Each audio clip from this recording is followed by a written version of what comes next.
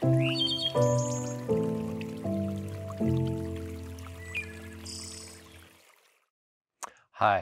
I'm Ian Ramsey, and I'll be reading Tim Fox's piece, Radical Homing. It starts with an epigraph from Terry Tempest Williams from An Unspoken Hunger. The epigraph is It just may be the most radical act we can commit is to stay home. Radical Homing by Tim Fox. The sound of surging water grows louder with each step I take down the trail to the bank of Horse Creek 10 minutes walk from my house. I've taken this walk through the grove of big leaf maples, red alders, western red and incense cedars almost every day this August. Maybe today the salmon will be back. I near a waterline and listen for unusual rhythms in the creek music, riffing salmon tails strumming liquid strings. At the crest of a rise above a narrow sandy beach, I stop and gaze 30 feet across into the clear current that slides along the far shore, passing over spring Chinook salmon redds from years past. A lone female, the first of the year, drifts in the shallows. She is given away by her flaring dorsal fin, already yellowing with decay. After a few minutes, a great humpbacked male, over a foot longer, slides in beside her. Their massive bodies loom in the current, shimmering periodically as they commence a procreative dance that has been repeated year after year for millennia. A dance with water, gravel, milt, and eggs. The female tilts on her side, whip fans her tail, billowing silt and stones from the creek bed to form a bowl. Then she hunkers low within it, and the male, sensing the imminent release of eggs, sidles in just ahead of her and to the right. He shudders. The water clouds momentarily, then clears. Hundreds of lives begin. The pair relaxes, and soon the female fans again, this time covering their offspring with stones to protect them from the fast winter currents and hungry cutthroat trout.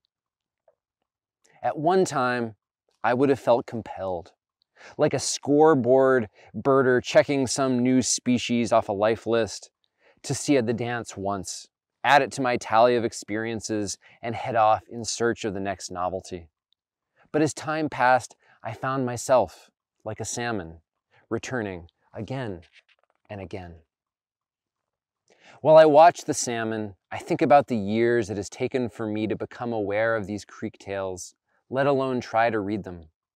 As a member of an Air Force family, I was relocated seven times before my 12th birthday. It felt as if I had been browsing through a bookstore, moving from volume to volume, fast enough to make out the jacket art and imaginative titles, but too fast to crack open a volume.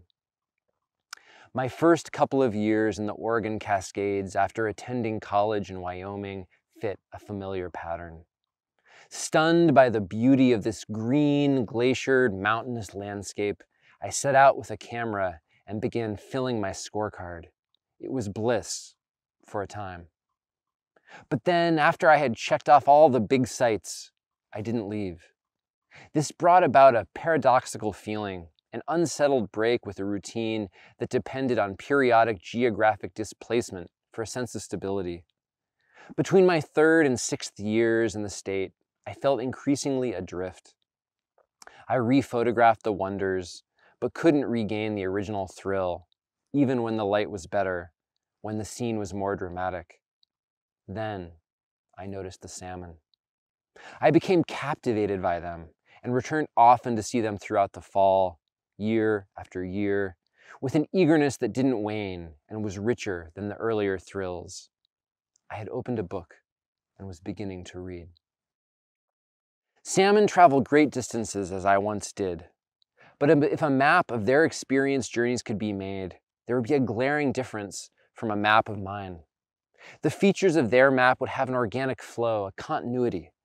Mine would be an indecipherable mash of disjunct topographic islands collected from numerous watersheds in dozens of states and two different continents, all abutted to form a mapscape for which there is no corresponding landscape.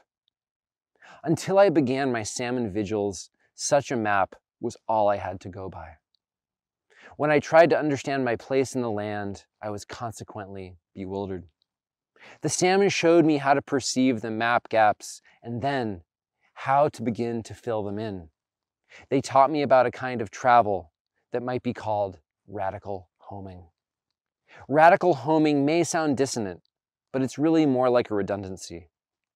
The origin of the word radical is radic, which means root. Radical is a word so thoroughly at home with itself, it serves as its own linguistic soil. Radical homing represents the turning of the pages of time in one space and has led me to move around less in a physical sense, to, but to feel more moved by what I experience. It's a kind of time traveling in home waters. Single geographic locations literally become different places with each passing moment, places with the added depth of personal familiarity and involvement.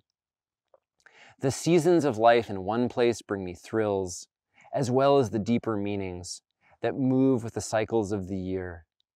The spawning of the salmon in autumn, snow-dusted hemlocks in winter, trillium blossoms in spring, a glimpse of a white speckled fawn in summer.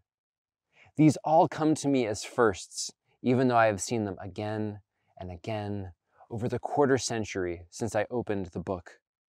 The span between each return is sufficient to rekindle its newness and whet my appetite to keep reading.